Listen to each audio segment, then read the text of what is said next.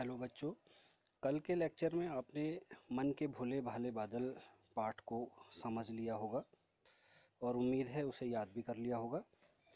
तो आज हम इस पाठ में आए हुए कुछ कठिन शब्दों को सबसे पहले अपनी कॉपी में लिखेंगे। इन शब्दों को आपने तीन तीन बार लिखना है।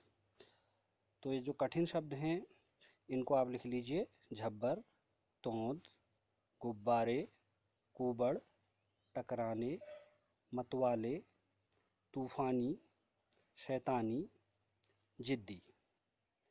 इन शब्दों को नोट कर लेंगे। इसके बाद कुछ शब्द और उनके अर्थ। इनको हम शब्दार्थ के रूप में अपनी कॉपी में हमें लिखना है।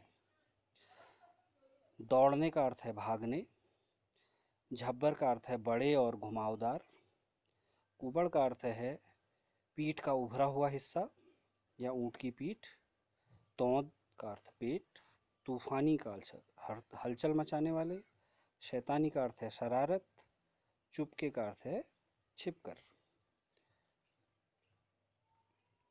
कुछ इस पाठ में आए हुए विलोम शब्द नोट कर लें। इनको अपनी कॉपी में आपने लिखना है।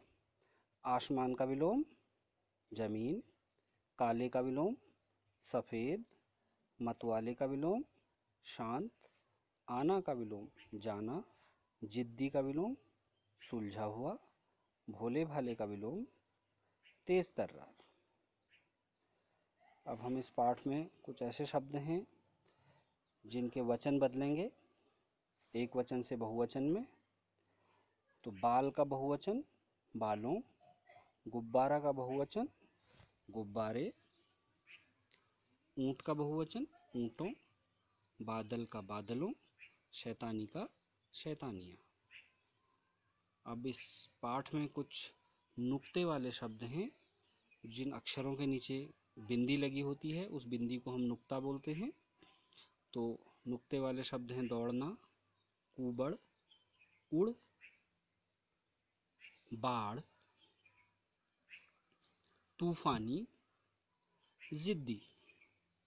फ़िलहाल आप इतना नोट कीजिए, उसके बाद हम इन पाठों के प्रश्न उत्तर भी आपको कराएँगे। Thank you